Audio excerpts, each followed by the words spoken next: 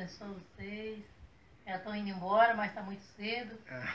Deus acompanha, né? Porque não quer ficar mais. E aí, irmã? Onde está aqui com a irmã Não embora agora não, estou com muito. Eu também fiquei contente do pastor ter vindo cá almoçar com, com o pai, com a, com a Áurea, né? E que tudo de bom para o senhor e a, e a irmã. É e a sônia? Né? Amém. Nós também